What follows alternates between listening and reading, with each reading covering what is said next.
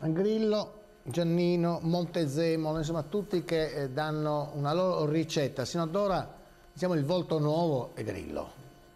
Montezemolo insomma l'ho ascoltato oggi, insomma si erge, eh, scendiamo in campo, scendiamo, eh, ma lui era insomma la Fiat, la Fiat qualche problema al debito pubblico mi pare ne abbia dato negli anni passati, no?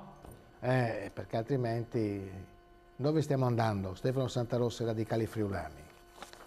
Nel servizio che abbiamo visto prima, Giannino giustamente eh, richiama i temi cari e radicali, quelli della rivoluzione liberale, quelli di modernizzazione di questo paese, eh, tagliare enti pubblici inutili, questo è il fermare il declino di Giannino. Non so se riuscirà a farlo, io mi auguro che riesca a farlo Giannino, ma anche eh, per me la figura di Renzi, anche se non andrò a votare, rappresenta comunque uno scossone per il PD per cancellare quella storia catto comunista che è complice di Berlusconi nello sfascio anche di questi ultimi dieci anni.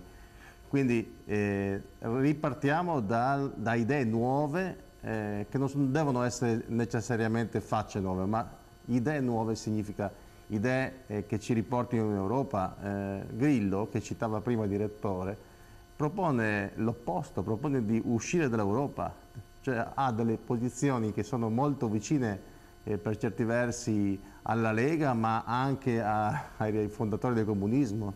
Quindi eh, stiamo attenti, è bene che uno quando va a votare si renda conto effettivamente di quali sono i, però, però anche, anche, i anche bisogna spezzare una lancia a favore di Grillo o di quanti parlano dell'Europa in modo negativo. Se l'Europa però rimane solamente un Moloch finanziario dove si aiutano le banche e non si aiutano le famiglie, dove si aiuta il sistema finanziario a mantenersi a galla e non si aiuta l'economia, mi creda, preferisco ritornare alla lira anche con le pezze al culo, eh? E così non si va da nessuna parte.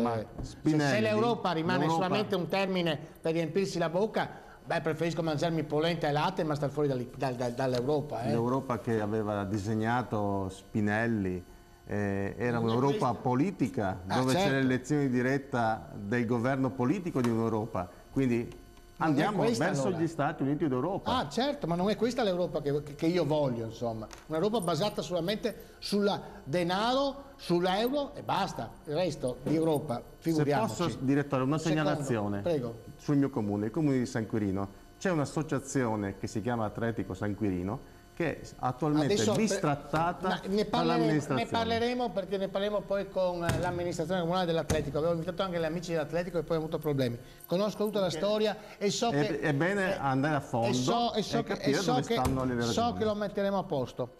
Grazie a Stefano Santarossi